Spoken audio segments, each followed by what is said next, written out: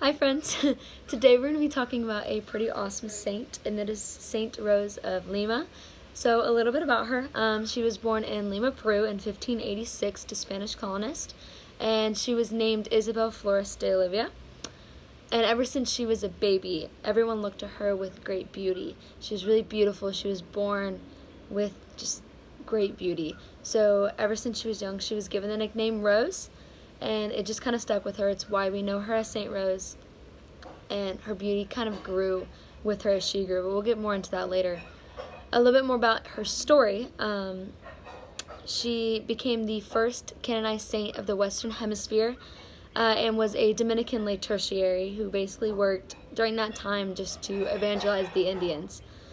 Um, and so a little bit more into her basic story. From an early age, St. Rose knew she wanted to become a nun uh, really ever since she was five years old. Um, she prayed and fasted in secrecy just because she didn't want her family to know that she was doing this.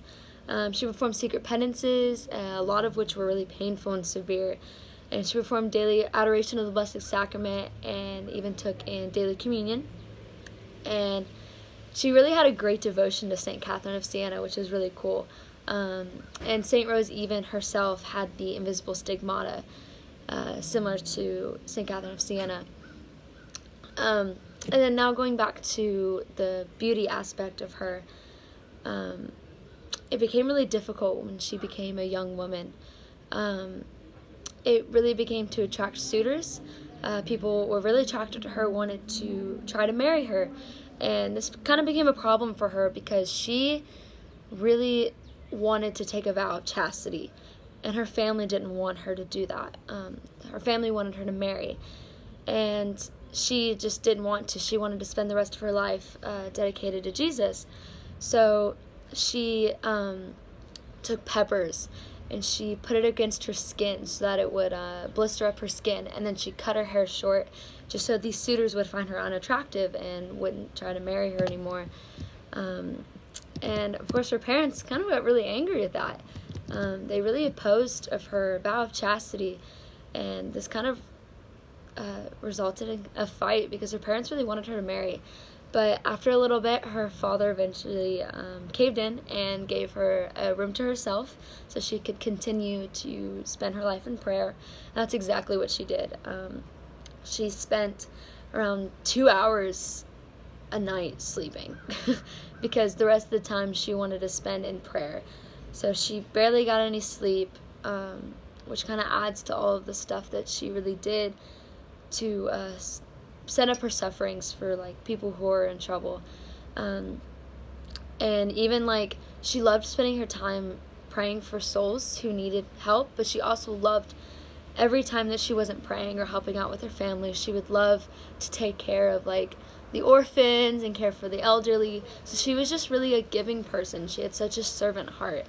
Um, and it's something we can really take away from her. Um, and uh, when she turned 20, uh, she was finally able to join the Third Order of St. Dominic. And this is where it kind of took off. She became into a life of just extreme prayer, extreme fasting and penance and on one occasion she really uh, she even like burned her hand uh, as as a self-imposed penance. Um, which just keeps going back to the fact that like she was just she's willing to just do this as a penance just to pray for these souls that are really in need of help. Um, and another thing that she used to do she used to wear a heavy silver crown with spikes. And a lot of people did say that she would wear a crown of roses uh, but underneath that would be the spikes. Um, and it was basically just a crown of thorns. And she just wanted to be like jesus in that sense to wear that crown of thorn go through that suffering. Um, but at one point the one of the spikes became so lodged in her, her skull that it took a lot of force to actually take it out. Um, so it just kind of shows that she she's she's not scared to go through this. Um, that she is she's cap- she's capable of doing all this just to help people uh, but St. Rose died uh, at the age of 31 on August 25th, 1617. Um, and according to a legend, she actually accurately predicted the date of her death, which is pretty cool. um, and her feast day is August 23rd, but around the world, uh, uh, August 23rd around the world, but in some countries like Peru, uh, they celebrate her on August 30th. So it's just they have their celebration that day. And St. Rose is known for being the patron saint of embroiderers, gardeners, florists, uh, those who ridicule for their piety, and people who suffer from family problems, just because this is what she went through um, when she was kind of living her life. And if you pray to her for any of these problems, she'll be there for you.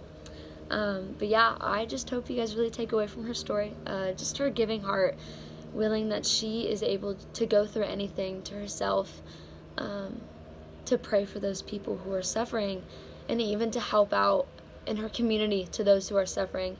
So she just had such a servant heart, and I just pray that you guys take away from her story. And as you go about your day, really, really think about how you can give back to your community and how you can be a servant of Christ to others. Um, but yeah, and I really hope you guys research more into her as I do wish to research into all these things we talk about. Um, but other than that, I hope you guys have a great rest of your day, and I will see you guys later. Bye!